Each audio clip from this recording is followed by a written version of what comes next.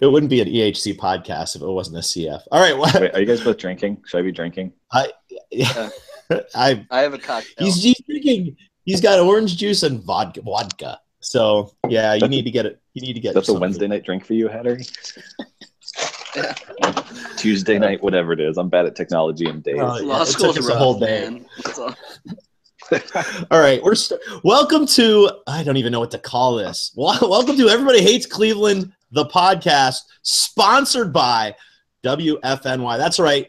After I don't know a really long hiatus for this podcast, we are back, joined by my former EHC brethren, now WFNY brethren, Jeff Nomina and Mike Hattery. We're here to talk Cleveland Indians baseball, guys. We haven't talked. You know what? Before we talk baseball, two things I got to share with you. One, I. I went to I went to Walmart today with sandals on and socks. I, I just wanted to throw that out there. And two, I need to get like cheap cheap ass Cleveland clothing, but it's good Cleveland clothing. So you guys need to help me out because every time I go to Cleveland, it's like important day and there's eight billion people in town and I can never get in shop. So either you need to send me free stuff or you need to But- tell me where to go where I can either steal it or get it cheap. So just to confirm, first you made fun of us that it's warm where you are and cold where we are. now give me clothing. and then you demanded that we send you free clothing. And then you did a humble brag about how many friends you have every time you come to Cleveland. I have eight million friends every time I come to Cleveland. that I, you know, I only speak truths. That's what this podcast is all about. You're just putting in our place before we start this, aren't you? You're just making sure to assert, assert your dominance. Somehow, somehow, this feels like this feels sort of like um like uh like like I'm in the mystery machine right now because everything I said wasn't a humble brag, but now that you put it that way, I'm just gonna ride with it. So. Because right now I, it's freeze. It's like 32 degrees, and I put sandals on to go to Walmart, and I just I'm literally sitting here with jeans on, a sweatshirt, sandals, and socks, which according to my 12 year old daughter is not the way to go. According Yeah. to anyone. yeah, according to eyes. So, oh gosh, speaking of eyes, we're going to be talking about the Indians outfield, and we got to put a lot of eyes on it last year as we head into this year. How about that for a segue? But um, I, I, as we talk about the Indians at this offseason, we haven't spoken in person since the World Series. So I guess uh, the Indians. I, I, my first question before we talk about the outfield, because I, I know where that's going to go. Um, you know, Mike and I podcasted a ton. Jeff, you were in on a couple of those. I don't know. Like, what are your thoughts? Just them getting to the World Series, them literally being a walk-off hit away, and the way things have been working for Cleveland this year. I, you know, when they came up in the bottom of the ninth, I really thought they were going to win that game. They didn't. I just your general thoughts, uh, starting with you, Jeff. I, I feel like I've I've I've cried myself out about it. You know, I, I was there was just so much misery for so long, and I'm just kind of I'm to the acceptance phase. I mean, it was it was a hell of a ride.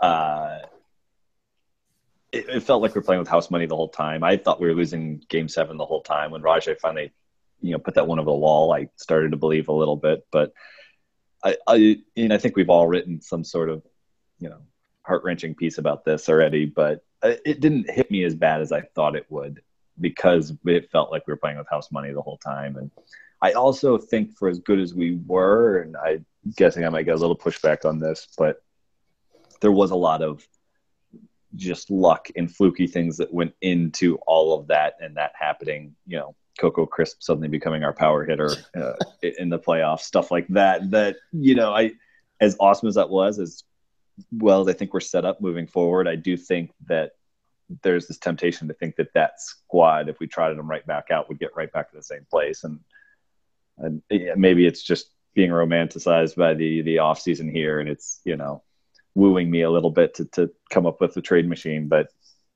I do think they need to do some things around the edges. What about Yeah. you, You, your, first um, really full year in Cleveland, and you get I I don't know. Maybe we every time a season starts, we need to come over to your apartment and rub your head. But geez, that You don't do that anyway? So many. it could just go so many different ways. But um, um, what do you think, Mike? Like, what, what, you know, your first thoughts? You know, we've been talking Indians baseball now. I, I think this is our uh, fifth year. You know, and they they make it to the World Series, and and we really haven't talked much over the past month. Uh, what are your takeaways from the playoffs? Takeaways from literally being a hit away. Uh, this Indians team that from day one, our first podcast, we talked about the outfield and we are probably going to have a very similar conversation to end the year. Uh, what are your thoughts? Yeah, well, first of all, I am Cleveland's good luck charm, and actually, one of my like sort of offbeat stories is that the night before LeBron released his "I'm coming home" uh, letter with with Lee Jenkins, I got engaged, and actually, like we were out late, and like I had slept like an hour. I went and hopped in the shower and then my phone was blowing up, and that's when I knew LeBron was coming home. But that's just a, a random story.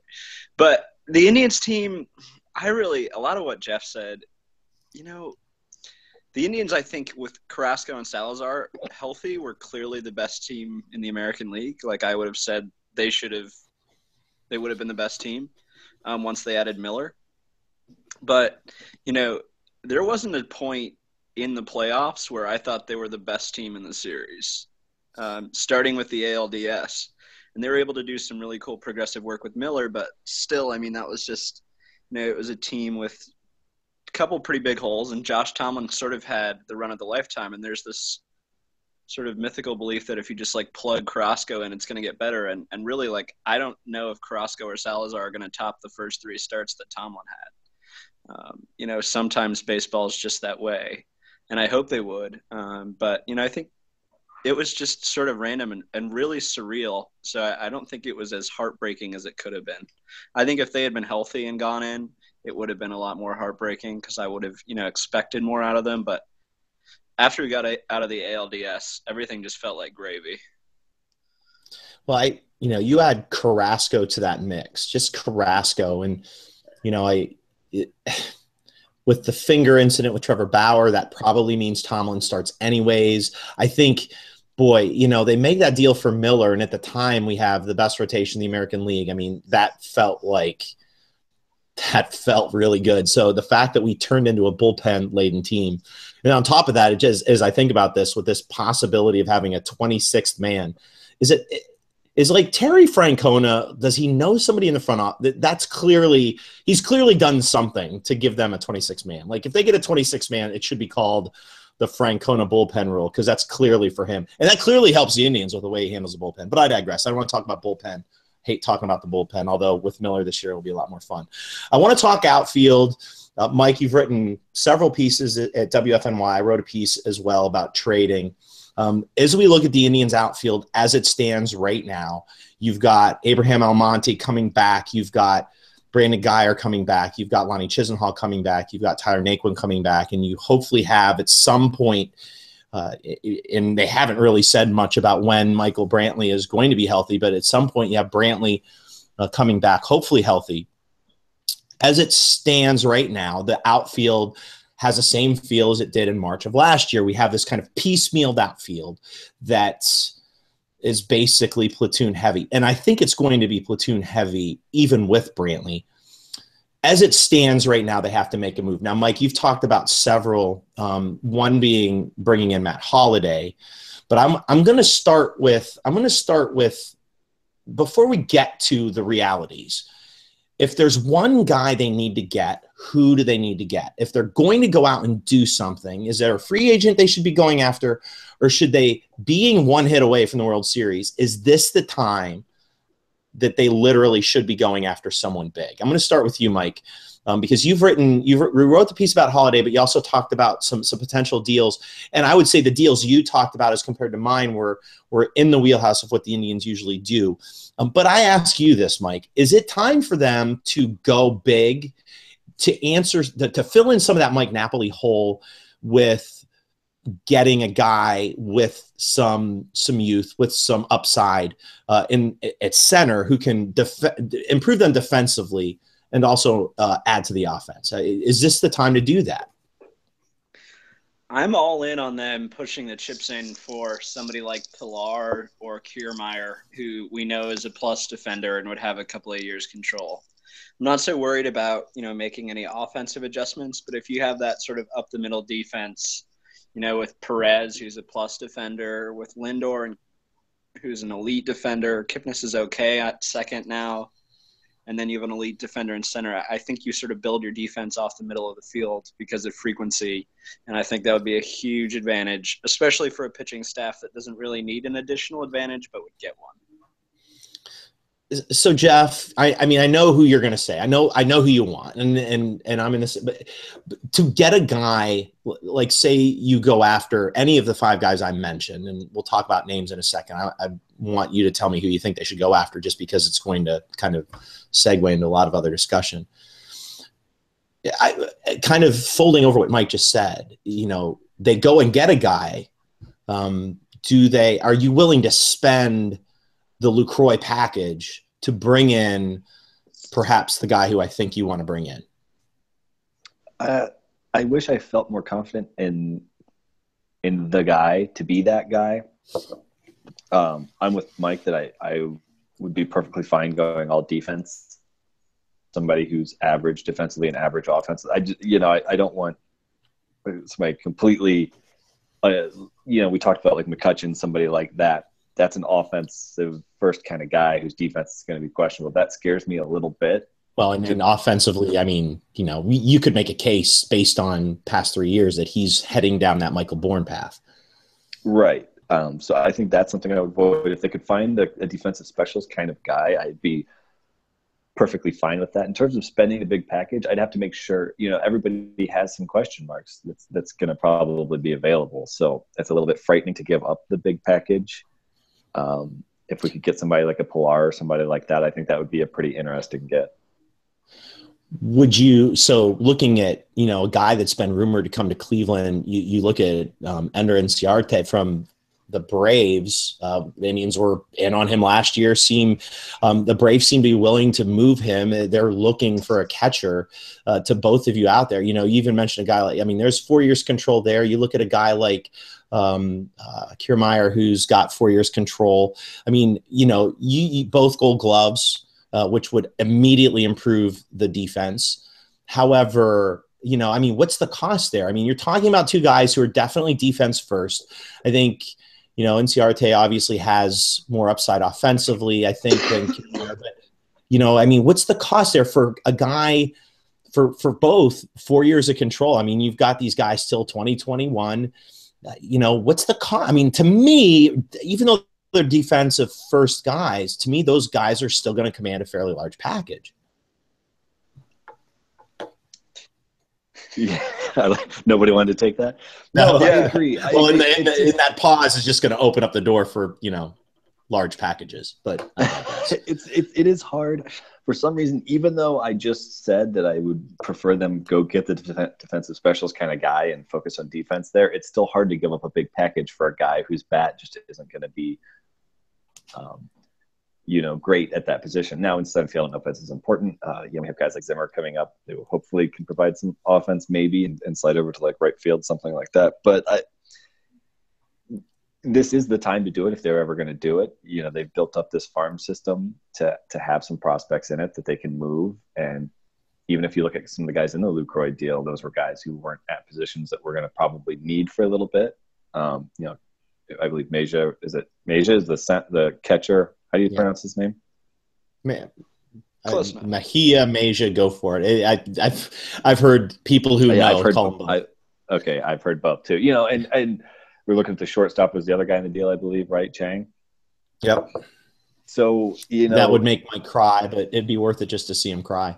Right, but those are positions that are pretty strong for us for quite a while, probably. Sure. So you know, you you are dealing from a bit of uh, of a luxury position there for us. So yeah, it, this is the time to do it. It's just hard for I think guys like us who follow the minors quite a bit to to part with those. But yeah, now's the time to do it. And if you can get those guys who, if they can be you know elite defensively and even just average offensively, that's a that's a huge upgrade over Naquin, who is neither. So yeah, I think it probably is the time to do it if those guys are available at that package or, or around right. there. Right. Well, that's the big question if those guys are available. And I, I, you know, every year we go in with these big wish lists and get pissed off when they don't get these guys. But the reality is, you know, you, you the real question, especially for Atlanta, is why would you even want to deal a guy who literally came in, was pretty outstanding, hit leadoff for you, was uh, stout defensively, and has four years of control. That to me seems like the perfect center fielder that you open up a brand new field with. But um, you know, maybe maybe a guy like Kiermaier is a guy who can bring in a lot of prospects and, and doesn't have the offensive upside. But I don't know, Mike. Like, are you, you know, we, and we kind of want to bridge this over to Holliday. Um, you know, you you you wrote a really nice piece about uh, perhaps the best fit for the Indians would be to get a guy like Matt Holliday as opposed to bringing back uh, Mike Napoli, based solely on the fact that you know Holliday can play in the outfield. He, um, you know, bat wise, I think um, I mean, let's let's be honest. Napoli sort of came out of nowhere, and I think the last half of the season kind of reverted back to what we saw the year before.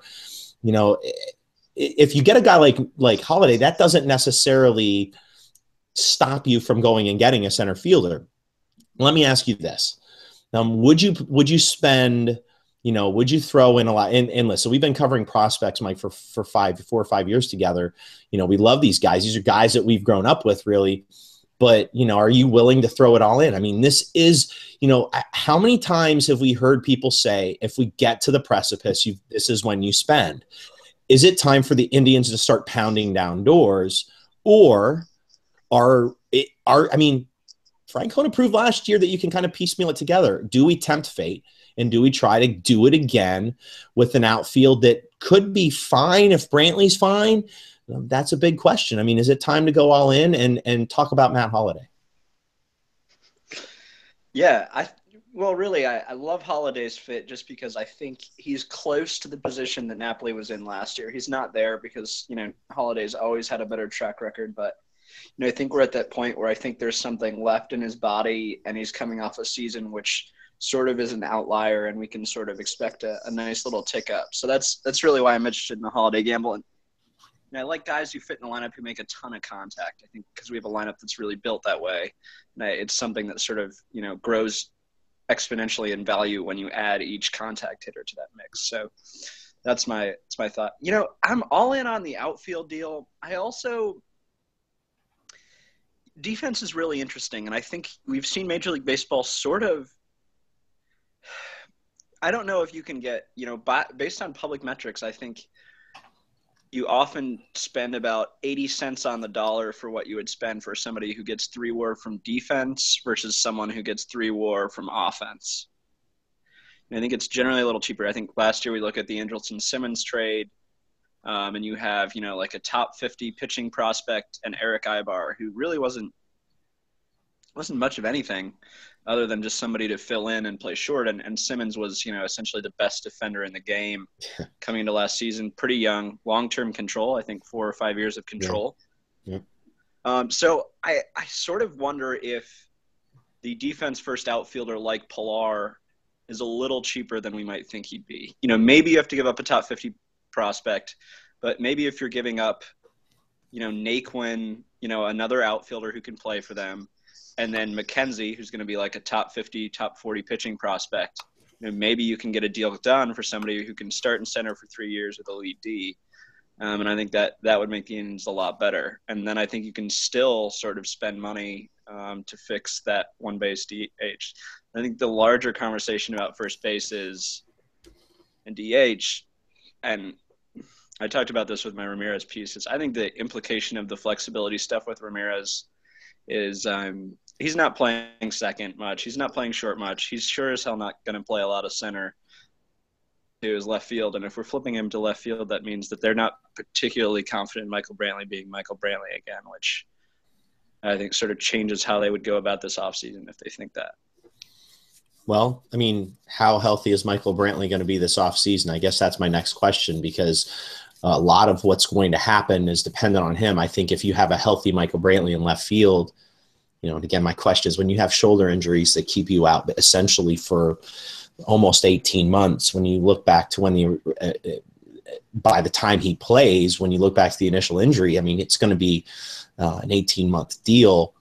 you know, when you know we've seen it before with with a guy like Hafner who lost half of his power, and you're talking about a guy who went from 40 plus home runs to a guy who could barely get 20. You know, now we're talking about Michael Brantley, who was whose power made him an MVP candidate. Now, I mean, don't get me wrong; he has a lot of intangibles at the plate um, that IQ at the plate, knowing when to swing it at, at different pitchers and at, at, different points in in um, in a pitch count, you know, he's still going to be valuable no, matter what. But I think we can all agree that the power is what kind of took him to the next level. And you know, I, I, you know, Jeff, you know, we've we've talked a lot about this, and Mike, we've talked a lot about this as well. I mean, is is Michael Brantley going to be back? Is he going to be back, and is he going to be back? You know, you know, now at the wrong side of 30. You know, is he going to be back and is he going to be a valuable, you know, I mean, player offensively? And will he ever be, you know, even close to an average defender now, again, with a bum shoulder? Yeah, and I think it gets extra hard because you have a guy like Yan Gomes who's almost in the exact same situation. he can still play defensively quite a bit, but it's really hard to hide both of those guys on the roster and with playing time when they're both such huge question marks if they're ever going to be really viable, you know, at their own position again. So I, it, it gets hard pretty quick. Um, but I think with Brantley, I mean, he was so good that you have to give him every opportunity. It, it's incredible that we went through this with Hafner and then again with Swisher. Um, and now we're going through it with Brantley. Like we just can't seem to get any luck. Um, but you have to give him every opportunity to prove that he still has it. Let me ask this real quick is Naquin a viable option for the opening day starter in center field, or does the team think that he is? oh boy! Um, Just based on you know what we kind of saw that last month, what we saw in the playoffs, their comments about him maybe moving to a corner. I, I guess I'm trying to wrap my head around the Indians' move would be to keep him to keep the outfield intact. Do Brantley, Naquin, Chisenhall. Um, if Naquin struggles, you have Zimmer hopefully forcing his way up pretty quickly, and if that flops too. You can try to swing a deal at the deadline, something like that. That that sounds like the Indians type move to me. But with what we saw at Naquin at the end there, you know, teams kind of figured him out, and when his defense kind of fell apart as well. I I, I guess I it, when we do the exercise of thinking about the outfield, I think it's interesting to think of whether they think the status quo is even an option or not. Well, I mean, my biggest fear, and uh, I'll be quick here because I want my Mike knows how I feel about Naquin and how I felt with him since he was, you know, here in Carolina.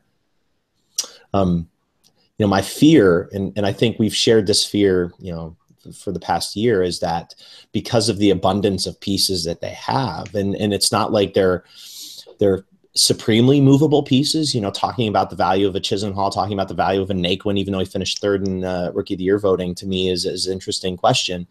You, look at the viable pieces. We've mentioned the five guys they have out there now, and you you talked about Zimmer, and we haven't even talked about Greg Allen or Yandy Diaz, who um, you know, probably are supplemental at, at this point uh, throughout the year. My thinking is, is Naquin's a guy that's going to be there again. I think they think he's a seasoned guy now. He's been through a World Series and he made a mistake and he's going to learn from it. And this seems to be the kind of thinking that – um, they're going. I mean, when when you look at when you look at the cost effectiveness and, and where they try to find market inefficiencies, to me, I feel like they think the way they've put together this outfield is a market inefficiency that they've taken advantage of.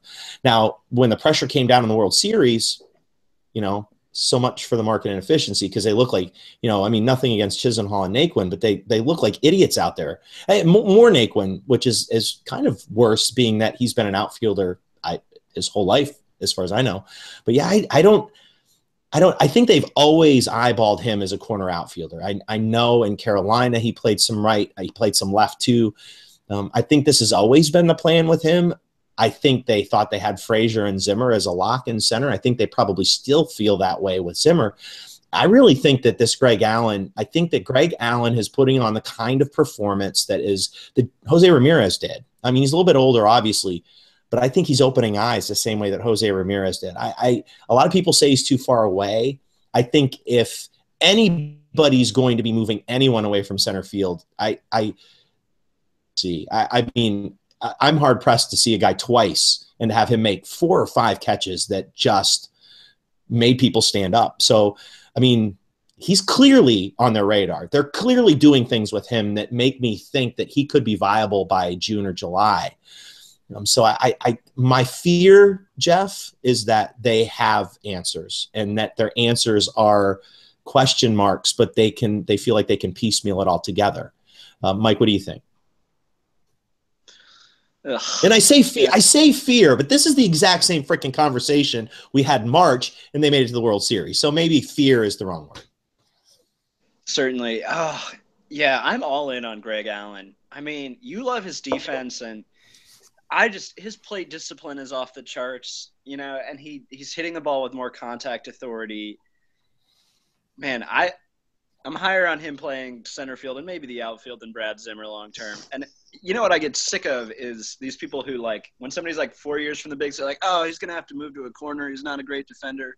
Then we have a center fielder who's like pretty close to the bigs and he doesn't have a great bat. And we're like, oh man, he's a really good defender. It's really rangy. Like I've I've seen that with Tyler Naquin. I don't need to see that anymore. Um, and also, I just going into this season, if Brantley is healthy, the the large river that will be running in left center field between Tyler Naquin and Michael Brantley is pretty scary.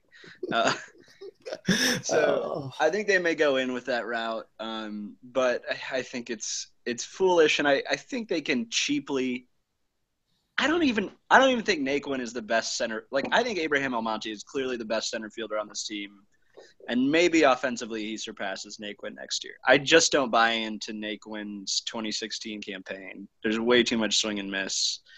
I, I think Almonte is probably the best starting center fielder, and yeah, that's, that's depressing. And I and that's and I'm Almonte's biggest fan, but that's yeah. depressing. It's interesting too that we're hearing all this about Yandy Diaz playing so much center field. Yeah because well, now I, we have Naquin and Almonte and Yandy Diaz and you know Greg Allen's not far away. Zimmer's even closer. There's it, there's so many options and none of them are great. You know, and I'm I, am i am excited about Greg Allen, but I'm I, I would be pretty surprised if we saw him in the major league level this year. You want to make a bet? I will. I, I will definitely make you a bet. I'll make a beer bet. Okay. I'm in on the beer bet. I don't know which side I'm on though. I, I should let you guys hash it out, and then I'll just pick my favorite side. I, I like that idea. I do like the idea of I do like the idea of when you mention guys like Diaz and you mention guys like Allen. The thing that that to me, and I think this is probably where Mike's going with this. To me, what the difference maker is when you look at a, I mean, you essentially that both those guys mirror Jose Ramirez in the way he approaches uh, you know, swinging at the plate. You know, they don't strike out a lot. And um, you you go back further, you know, the, the, this basically falls in line with the Michael Brantley mode of player. And and since Brantley, they've they've been eyeballing players like this. I think the thing in their corner, in Yandy Diaz's corner and Greg Allen's corner, is that they they they get on base. I, I mean, I, I don't know where you're going with this, Mike, but I think maybe that's where you're heading. No, I, I just think the guys that the Indians pushed the envelope with, and, and you mentioned it, you know, they pushed the envelope with Ramirez and they pushed it a little bit. Um, they pushed it a little bit with, with Lindor as well, is these are dudes yeah. who make a lot of contact. Because yeah. those guys, I think, are less prone to getting lost and sort of broken. The guy who's striking out a ton and then seeing his K rate just massively high, I think you can sort of break that guy if you rush him and don't let them develop that. But the guys who make a ton of contact and can sort of like not embarrass themselves at the plate early and play good defense, those are the ones that I think they'll be more aggressive with. Um, so that's my only reason. You know, I, I, think they've been, you know, I think they rushed him and got him a decent amount of playing time at Double A last year for a reason. I don't, I don't think that was just a, just a passive thing. But I do want to redirect because Jim wrote this really long trade piece on center field, laying out all the options, and he's and he's poked and prodded us for for our options. But like, who are you all in on? Like, if you're gonna give up Mejia and another big piece, is there a guy in that in that range that you're willing to give it up for? Is it Pollock? Is it Kiermaier? Who is it? I mean, for me, I, I well, I mean, I I think the home run for me is Pollock. I mean, I I his he's injury prone is the problem. But I think if you're going to spend money, or I mean, you're going to spend player collateral for a guy who doesn't need any work. That's the guy. He can do everything. He's a great defender by every metric. When he's healthy, he's you know, I mean, you know, when you hear phrases like Mike Trout light, you you like that. The problem with Mike Trout light when your body's a little brittle is you get hurt a lot. But I mean, for me, the guy that's perfect for this lineup, who immediately gets to the top of the order, you know, has speed, has a glove, and can hit 320. It, it can do everything with the stick, hit for some power too. It's Pollock and I think if there's a team who's willing to move a guy like like that, it'd be Arizona, especially with Stewart leaving. So, so the home run for me is Pollock, followed probably closely by um, by Nomina's boy there in Atlanta. I, you know, there's a guy I that defensively looks great, and while offensively, his, you know, he's not, you know, he's he's not going to hit 10 home runs for you, but you know, there's a guy I think that has a tremendous amount of upside in, in the four year window. I, I, I just think Inciarte would be my, my second choice, but Pollock for me would be my all in.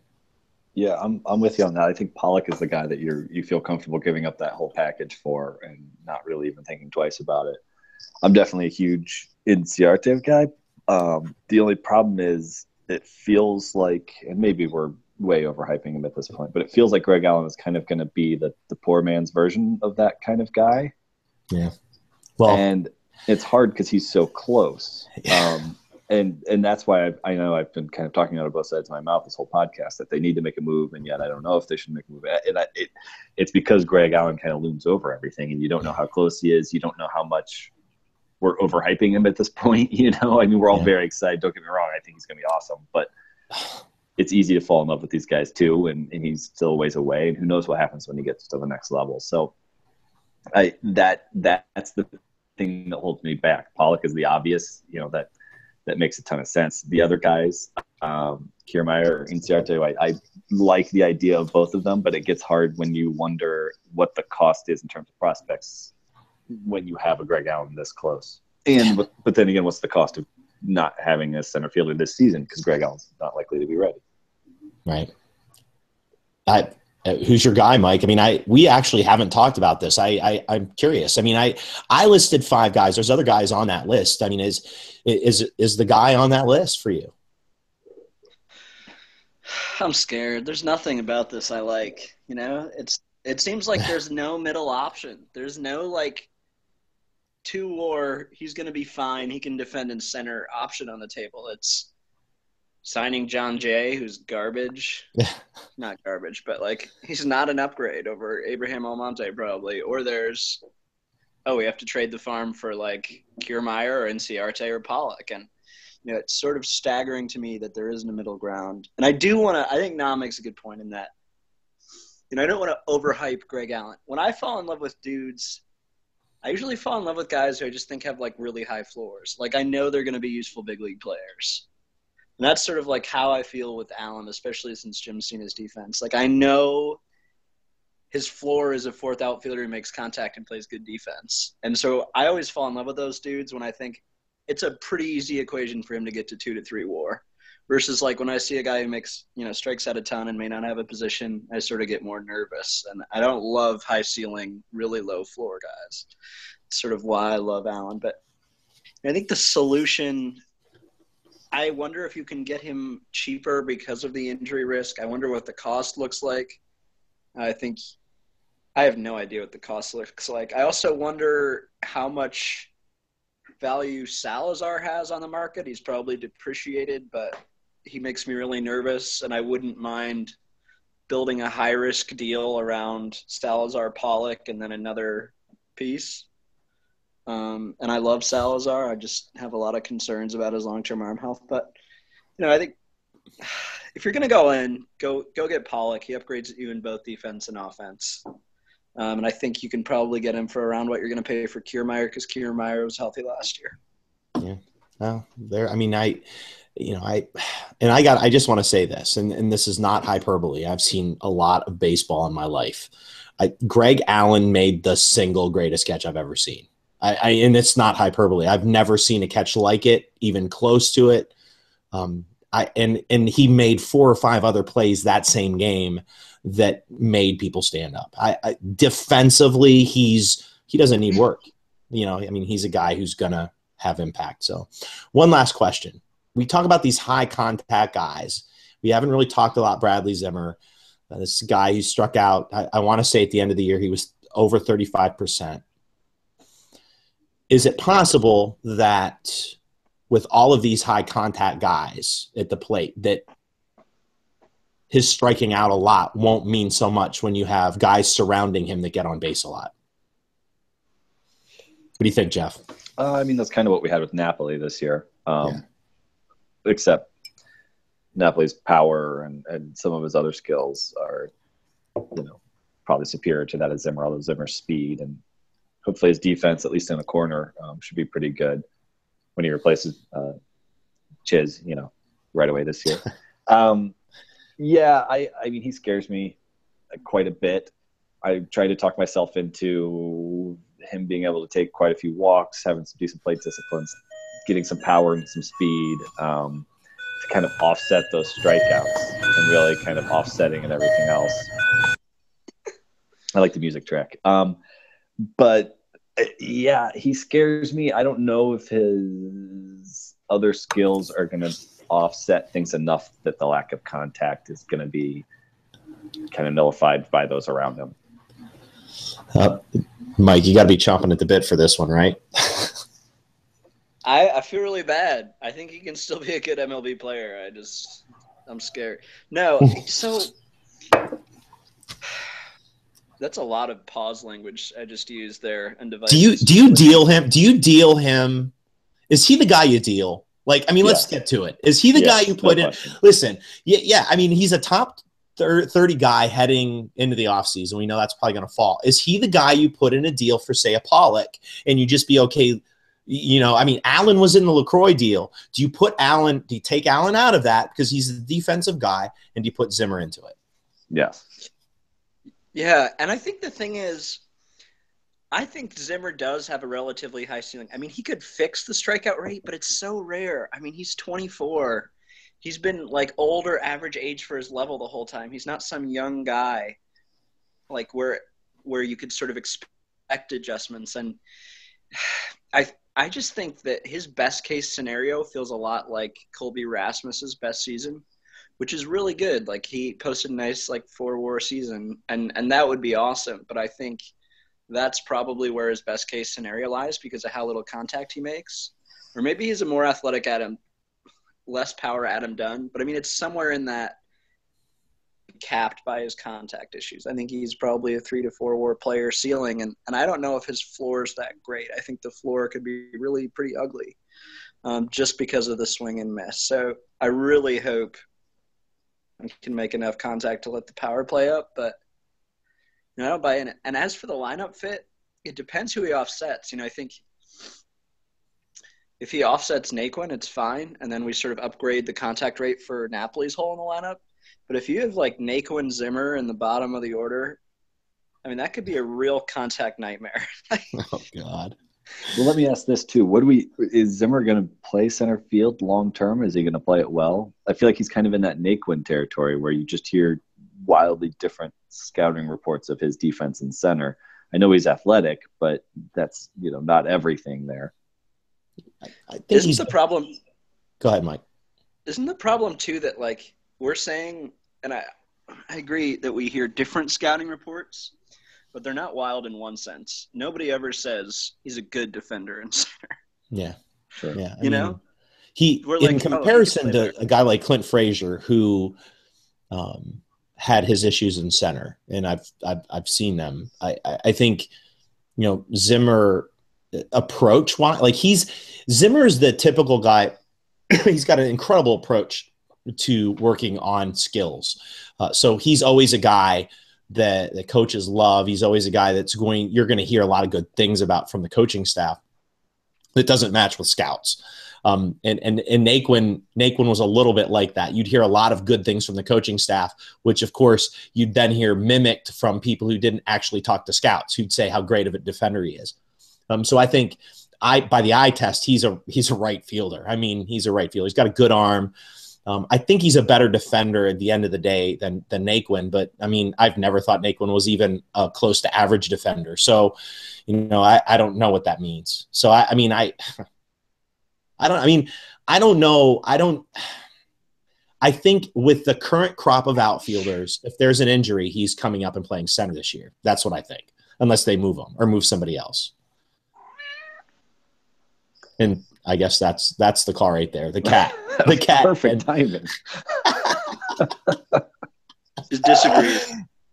I don't. I, I don't know. I, I mean, I, I just, I think we need a definitive answer in the outfield, and I don't. We don't have that right now. I mean, you know, the fact. I mean, I would lo- honestly, with who we have right now, Abraham Almonte is who I want in center, 120 games.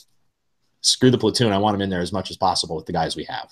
Well, and it's hard too because center's somewhat of a hole right now. You have no idea what you're getting from Brantley. And I mean, I know I'm the anti Chiz guy, but I, I don't feel like you know exactly what you're going to get. He could very easily play average defense and be pretty below average offensively next year and have to platoon. And that's not super valuable either. You know, like all three positions to me are kind of up in the air. And I know that that's me being overly negative on right field, but I, that's what makes it so hard. It would be great to have one of those solved. Right. Well, and and if Brantley if Brantley's not healthy, I mean it's it's again it's you know it's plug and play and and pray for the best. And we had Naquin basically leading the rookie of the year you know vote for th- two thirds of the year. And are we getting that this year? Probably not. You know, is Almonte going to fill in the gap? No. Is Brantley going to fill in the gap? We don't know. I heard today it could be up to two months. He's not going to. I mean, I, I haven't heard anything. You know, the Indians are going to say anything. So I don't know. I mean, you know, the fact that they might consider bringing a third baseman to put, you know, Jose Ramirez in left, which is awesome. I love it. But I mean, it's it's like a party every. You know, I mean, what's what kind of crazy crazy ass play because he charges in 15 feet and then has to make a catch at the warning track because he's so fat. I mean, it's insane. I, you know, and you've got Yandy Diaz, who's probably the, in the same boat. I mean, you could have us. We going to have Diaz in center, and are we going to have J Ram in left and Chisenhall in right? I mean, what the hell is that? We'll, we'll have the all infield outfield. It'll be great. God, imagine the shifts Francona could put on then. Holy shit. We're gonna have three third basemen playing the outfield. It's gonna be a spectacular. This is the new market efficiency: is finding all third basemen. Just every position is actually third base. oh my god. The Every sad thing position is, is the hot corner. if he listens to this, I think he'll do it. oh man, we didn't even talk about Francona winning Manager of the Year. I think we save that for the next one. Yeah, that's not a good conversation to have with me on the podcast. all right, we got we got we got to wrap this bad boy up. I I um first of all, gentlemen, it's been fun. I'm glad we're back. I don't know what this is going to look like in the coming weeks, but uh, hopefully we can keep this going. Definitely want to get that. I want Mike Hattery talking about Terry Francona winning Manager of the Year. That is a podcast. I just want to say segue with that and then just back off. But that's the All Francona and Zimmer podcast with Mike Hatter. oh, all right. We're going to wrap things up here. Um, thanks for joining us. It's the EHC podcast at WFNY. Try to put that all together and figure it out. I don't know what this thing's going to be called, but that's what it's called for now. Um, again, if you want to check us out, you can find us on Twitter at SportsNom for Jeff Nomina, at Snarky Hat Man for for Mike Hattery, and I don't even know what the hell mine is now at Jim Pete EHC. I really did.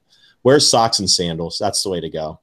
Uh, this is probably the last time you hear from us. So happy Thanksgiving, and uh, we'll talk to you soon.